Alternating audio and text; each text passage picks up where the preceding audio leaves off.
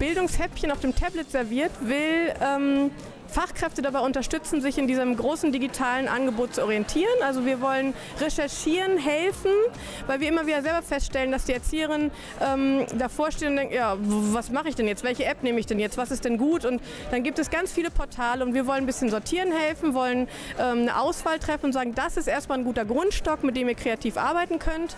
Und wenn wir das ähm, zusammengestellt haben, dann wir kommen und servieren euch quasi auf dem Tablett, auf dem Tablet, womit es so schön einfach geht, geht, ähm, Ideen und Möglichkeiten, wie ihr das aufgreifen könnt, was die Kinder gerne machen und womit man echt total kreativ und auch ähm, ja, bildungsförderlich arbeiten kann. Das ist unsere Idee.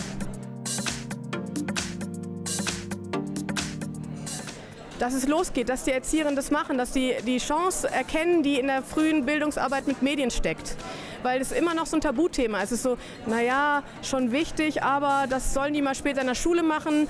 Und das ist so ein bisschen so, als würde man sagen, Verkehrserziehung. Naja, das können wir auch anfangen, wenn die zehn sind oder zwölf sind. Nee, keiner zweifelt mehr, dass man heute ähm, schon ganz kleine Kinder, die gerade so laufen können, da sagt man nicht, ich trage dich mal eben über die Straße, musst du nicht gucken, sondern guck rechts und guck links. Auch wenn die noch gar nicht schnallen, was das eigentlich für sie wirklich bedeutet, macht man das mit den ganz Kleinen.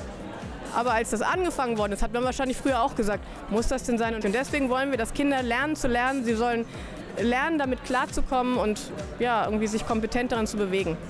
Und vor allem auch nicht mehr, äh, dass wir sagen können, zu Hause benutzen sie die Medien genug, sondern wir können in die Einrichtung auch gehen und zeigen, wie man das anders auch benutzen kann. Zu Hause wird häufig nur konsumiert, aber in der Einrichtung können wir auch mit Medien kreativ arbeiten und was produzieren.